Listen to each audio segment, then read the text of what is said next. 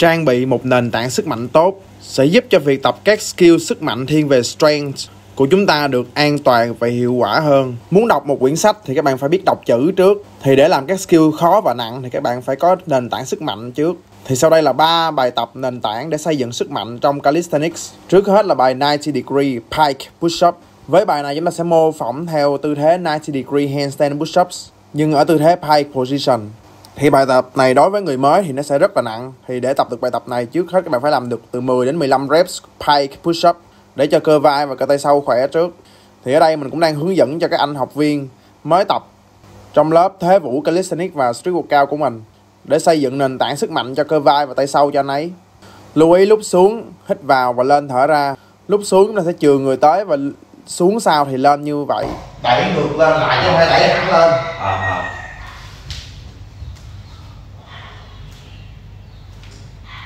à. Rồi tới. Rồi. à. quên quên quên quên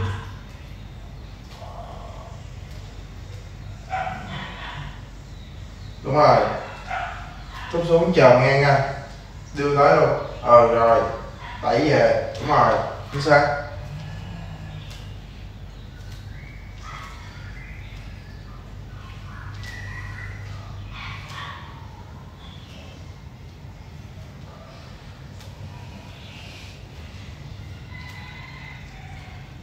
Anh được về. Đúng rồi.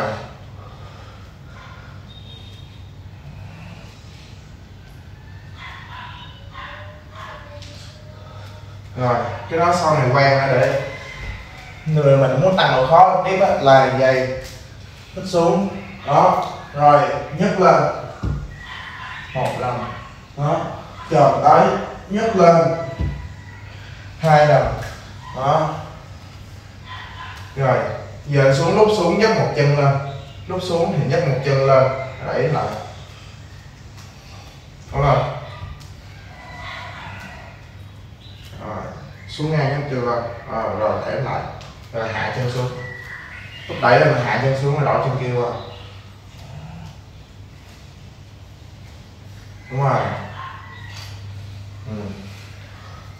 nặng lắm. Nặng. Rồi sau này quen rồi đó. Thì à, mới làm được cái này. Nè, xuống muốn chờ. Đó. Rồi, nhấc lên. Đó, nặng lắm. Đó. thì nó sẽ có bốn mức độ. Thứ nhất là cái basic 90 degree pie push up. Thứ hai là các bạn sẽ nhấc một chân lên. Và cái thứ ba là khi mà xuống, các bạn sẽ giữ 90 degree và các bạn đẩy lên lại pie push up. Và cái thứ tư cũng là cái hoàn thiện động tác chính là 90 degree handstand push ups làm như mình thì để xây dựng sức mạnh tốt thì chúng ta hãy tập cho đến khi nào tất cả những cái bài tập này nó trở thành những bài tập nhẹ nhàng và basic nhất của chúng ta. Như mình thì ở hiện tại 90 degree handstand push ups nó là một bài tập basic cơ bản nhất của mình để tập xây dựng sức mạnh. Bởi vì mức độ hiện tại của mình là tập lên planche. Cho nên là những bài tập này nó là cơ bản rồi mấy bạn. Nhưng đối với những người mới tập, những bài này gọi là skill, thì các bạn phải tập nó từ mức dễ nhất. Tay rồi gặp người trong một tay chân dạng ra càng dạng ra nhiều nó càng dễ. Rồi hít xuống đó, xuống mức mạnh nhất là đẩy lên đúng không? Đó đẩy lên. Rồi tay trái cũng vậy. Đó nhớ chậm mông cao để cái này nó đó hiểu không? Rồi làm đi làm đi. Tiếp theo là bài tập one arm pike push up bổ trợ one arm handstand. Đúng rồi đúng rồi. Tốt đúng rồi hai lần hai ba bốn năm sáu bảy ok. Tám chín mười. Tiếp tục. Rồi tỏi qua tỏi qua. Xuống đúng rồi. Lên một hai. Ba. Bốn. Năm. Sáu. Bảy. Hai rồi ba, tám xuống n nữa chín. Một cái nữa. Mười. Ừ.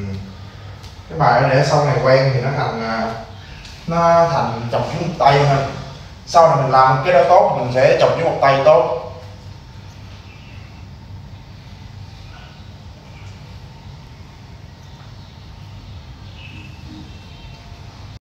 Như các bạn đã thấy, one arm handstand ngoài việc giữ thăng bằng ra thì vai cũng đã khỏe trước. Vai phải khỏe thì mới giữ được thăng bằng.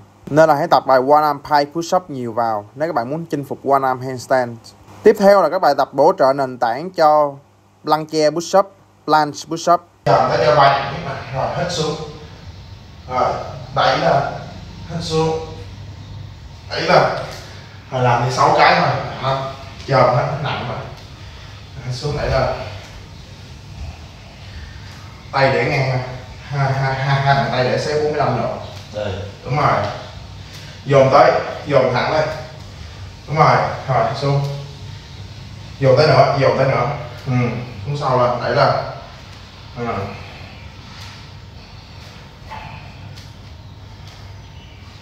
đúng rồi xuống hết lên thở lên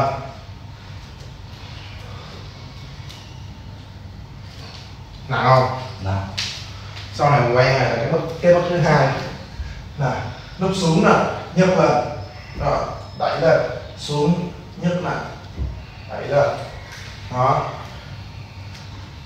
chầm tới cái chầm tới nhiều không chầm nó cho vai nặng lên đúng rồi lên đúng rồi đúng rồi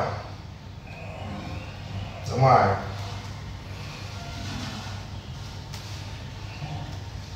đúng rồi ừ. lên.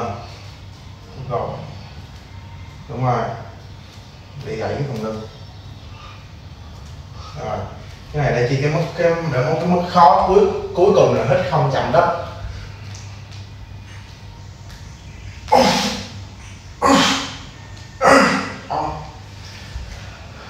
Thì khi mà các bạn đã tập tới plan push ups hết đất chân không chạm đất rồi, thì khi đó cái lực vai của bạn sẽ cực kỳ khỏe. Bởi vì như các bạn biết là hết nội mà hết cái judo plan push up thôi là nó đã dồn hết vô vai rồi. Lưu ý chúng ta sẽ plan lean tới trước ở cái form nặng nhất và sau đó sẽ hết thì nó sẽ hiệu quả hơn. Các bạn sẽ làm 6 reps và làm từ 5 set trở lên.